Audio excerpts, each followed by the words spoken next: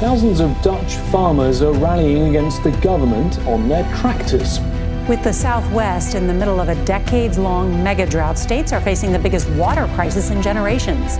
It's a conspiracy worth millions, beef washing, with the Amazon at its heart. Now, Jeff Bezos' Washington Post is telling you that beef should be banned. Beef, the food. People know what they want. We don't want to be eating insects. We want our steak.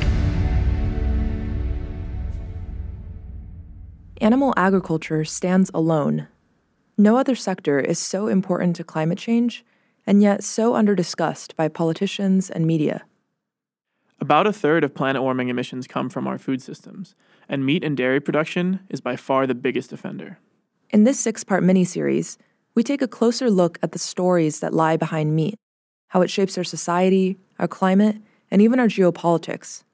Oh, and we should add just like climate politics isn't about blaming anyone who's ever put gas in their car, this podcast isn't about shaming anyone who loves bacon.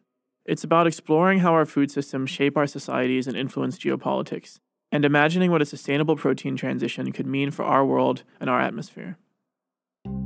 We also look to the future of meat, whether that's lentil burgers or steaks grown in a lab. We explore stories from around the world, from a farmer's revolt in the Netherlands to the giant hog farms of North Carolina, and even the UN's strange reluctance to talk about what meat production does to the planet. From the Carnegie Endowment for International Peace, I'm Hee Won Park. And I'm Noah Gordon. And this is Barbecue Earth.